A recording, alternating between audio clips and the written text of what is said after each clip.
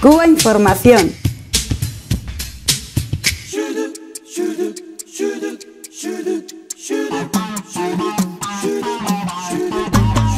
Bueno, seguimos adelante con nuestro programa, en este caso hablando de un artículo que nos ha llamado la atención, publicado por Enrique Ubieta en su blog en La Isla Desconocida. Eh, es un artículo eh, que lo escribe un poco como contrapunto a, a, otro artículo publicado por el escritor chileno Jorge Edwards, que parece que estuvo por Miami y se quedó fascinado con la vida mayamense, diciendo que allí la población estaba muy cerca del gin tonic, de los campos de golf, de los campos de golf y de la vida cómoda, que parece ser que fue su propia experiencia y parece ser que la, la extrapola a la experiencia de, la, de, toda la población de la Florida o algo así. Entonces, pues, Enrique Ubieta, de alguna manera, pues eh, publica este artículo para abrirle un poco los ojos sobre la, realidad de allí, porque está claro que muchas otras personas no tuvieron allí la misma suerte. Así que voy a pasar la palabra a mis compañeros. Bueno, eh, Jorge Edwards hay que decir que es uno de estos intelectuales orgánicos del poder, de los poderosos. Es eh, uno de los añadidos a la saga de los Vargas Llosa, Jorge Castañeda y otros que se acercaron desde posiciones de izquierda hace 20, 30 años, o algún, algunos, algunos más, eh, bueno, se fueron, fueron derivando hacia la derecha, llegando ya a la derecha neoliberal extrema. Y son todos estos que tienen como obsesión la revolución cubana, como obsesión han tenido a, Hugo Chávez durante muchos años y la revolución bolivariana. Eh, son todos estos que están, bueno, pues eh, defendiendo las posiciones del poder económico, del poder político en América Latina, muy ligados a las élites, que escriben en diarios como El País, es decir, no solamente en los diarios de la derecha y la ultraderecha clásica, sino también de la supuesta progresía, en este caso europea. ¿no? Y eh, Jorge Edwards, que desgraciadamente hay que decirlo, fue un, este fue eh, incluso miembro del, equipo gubernamental de, de, Salvador Allende, desgraciadamente su viraje ha sido radical, nos dice en su artículo que en Miami es posible vivir con una calidad de vida superior,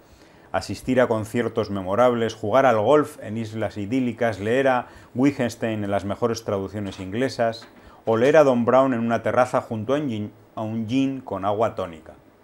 Dice, no todos pueden hacerlo, desde luego, pero no, no, es demasiado difícil llegar a esos niveles si uno consigue una buena educación, cosa bastante difundida, bien apoyada y financiada y trabaja con, disciplina, actividad favorecida por el ambiente, el, el gin tonic, el Dan Brown y hasta la cancha de golf están a la vista. Enrique Ubieta, escritor cubano, que no disfruta ni del gin tonic ni del campo de golf en su Cuba, y que defiende desde luego posiciones de intelectual de los que no detentan el poder, es decir, de las clases sociales desfavorecidas en América Latina, diríamos, él y otros, eh, recuerda un artículo suyo publicado hace un año en La Calle del Medio, la, la, la publicación que dirige, en el que se reflejan los casos de diversos cubanos y cubanas emigrados a Miami y que retornaron a Cuba porque les era absolutamente imposible la vida en Miami. Son personas que no han retornado ahora, porque ahora hay muchos más, muchos más casos después de la aprobación de la ley migratoria en Cuba, que todo esto lo normaliza un poco más de la parte cubana,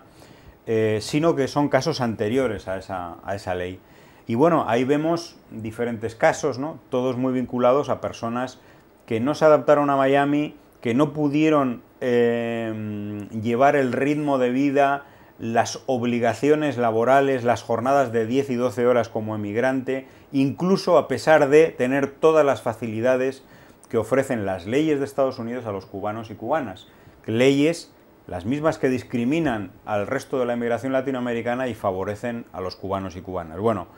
pues estas personas, eh, algunas con problemas de salud, no, no, podían pagar sus tratamientos médicos en Estados Unidos y se volvieron a Cuba, personas que tenían hijos con problemas de salud, con problemas incluso psicológicos de alto estrés y tuvieron que virar al país que les vio nacer, al país donde, bueno, pues no es necesario tener que morir en el intento de conseguir trabajo, en el país donde indudablemente hay numerosas dificultades económicas, pero no te desahucian de tu, de tu casa por no tener el dinero para pagar a fin de mes, etcétera, etcétera. Y bueno, está interesante y, bueno, y hacemos una hacemos una, llamada a, leer este artículo en nuestra página de Cuba Información. Bueno, tenemos aquí un excelente artículo de Enrique Ubieta, eh, excelente también amigo, eh, compañero nuestro. Y habla nada más y nada menos, como tú decías, José, de, un personaje que ha sido, bueno, es un converso y es una de las, de las, de las plumas, digamos, más radicales de, la derecha intelectual, pudiéramos decir.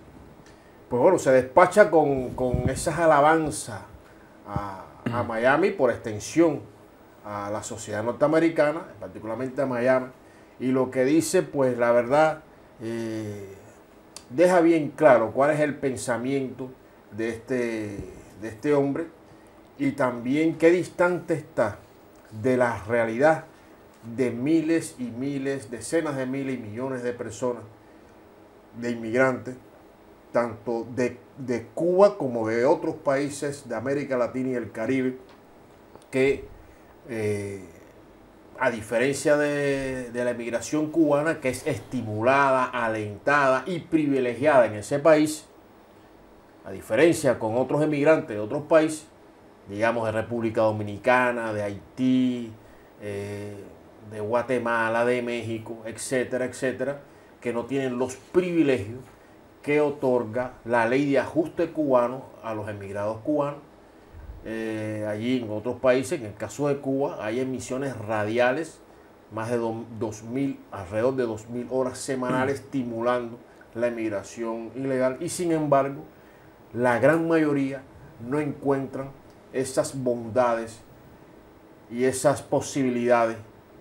que menciona Jorge Edward en, en Miami. Esos campos de golf, etcétera, los estudios. Eh, yo voy a hablar eh, en este espacio de, algo que, me, conozco y que me tocó de cerca,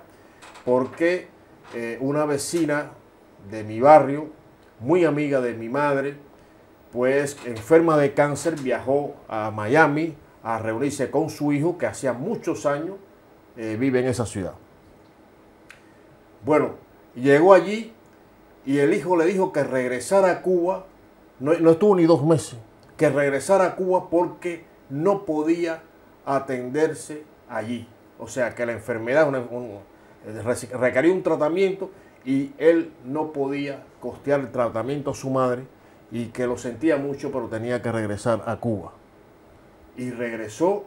se siguió atendiendo en Cuba. Ella pensó, bueno, ya una señora mayor, su hijo hacía muchos años que no veía,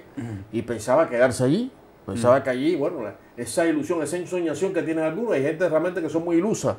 En Cuba también se encuentran personas bastante ilusas, eh, también eh, marcada por la propaganda que durante decenas de años, tantos años, se ha hecho de, esa sociedad y, las mentiras. Hay, muchas personas que aún, eh, si no están presos, lo andan buscando, pero cuentan maravillas de aquello, ¿no? Y lo cierto es que esa, esa buena mujer, excelente persona, pues estuvo dos meses y algo eh, con su hijo y eh, los dolores tremendos, tuvo que regresar a Cuba y se, siguió atendiendo en Cuba y murió, bueno, los dos o tres años más tarde, ¿no? Pero el hecho de que después de tanto tiempo vaya a ver a su hijo,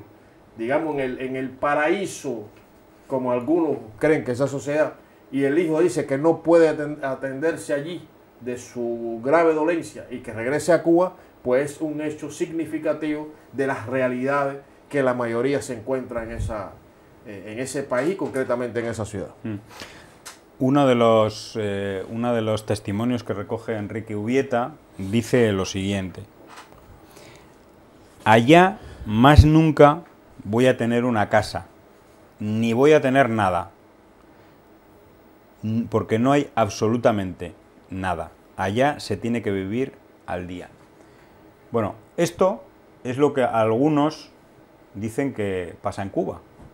Es decir, allí en Cuba no voy a tener oportunidad, no voy a poder eh, conseguir determinadas cosas y entonces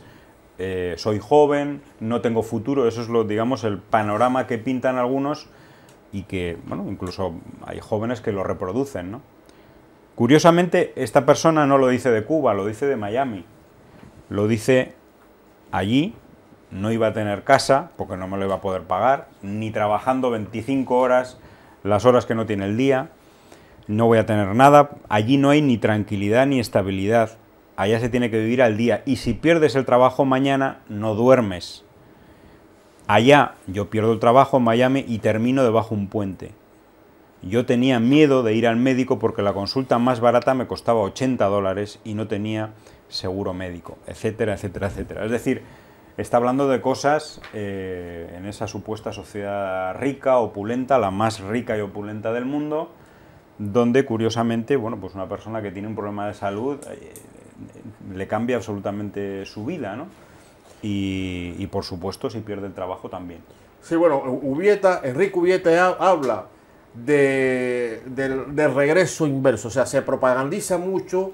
se magnifica, se manipula eh, la emigración cubana hacia Estados Unidos, sobre todo cuando sale en balsa, en embarcaciones, eh, también, eh, pero no dicen estimulada por la propaganda y la ley de ajuste cubano, ¿no? Y, dentro de ello lo de pies secos, pies mojados.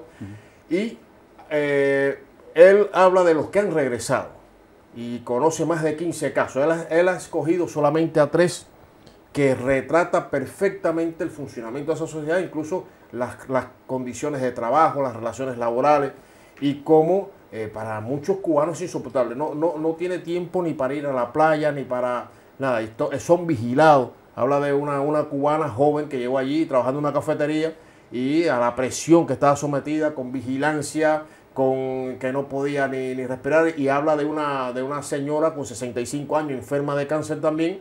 que fue para allí y bueno, eh, murió porque no, no, tenía, no podía dejar de trabajar, tenía que pagar el cuarto donde estaba, 300 dólares, en fin. Eh, son las realidades de muchos que eh, engañados y con esos cantos de sirena que constantemente se, se lanzan, pues van allí y se encuentran con la dura realidad, como también se ha encontrado nada más y nada menos que la madre del difundido y propagandizado eh, delincuente común eh, Orlando Zapata,